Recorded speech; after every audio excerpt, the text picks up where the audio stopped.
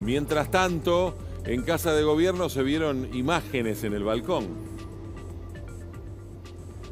Sí, Luis, vos sabés que desde este mes que lleva en el gobierno el presidente no es la primera vez que él o algunos de sus funcionarios salen al balcón y en general se encuentran con mayoría de turistas, sobre todo ahora en el mes de enero en la Plaza de Mayo, eh, determinadas horas, eh, más que nada está ocupada por turistas, aunque también hay gente que trabaja. Ayer se mezcló con algo personal porque la novia del presidente, la actriz Fátima Flores, que estuvo de visita en Buenos Aires, ella está en la costa atlántica, en Mar del Plata, llevando adelante su, su obra de teatro, pero evidentemente coincidieron ayer en la tarde en que Milei dejaba por primera vez esta Casa Rosada, no para volver al hotel donde estuvo viviendo los últimos meses, sino ya para ocupar, como anticipábamos ayer, la Quinta de Olivos ya en, función de presidente. Y por eso salió a saludar eh, ayer por la tarde.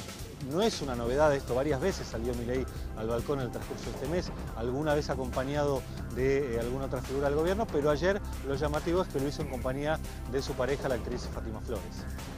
Nos vemos, José.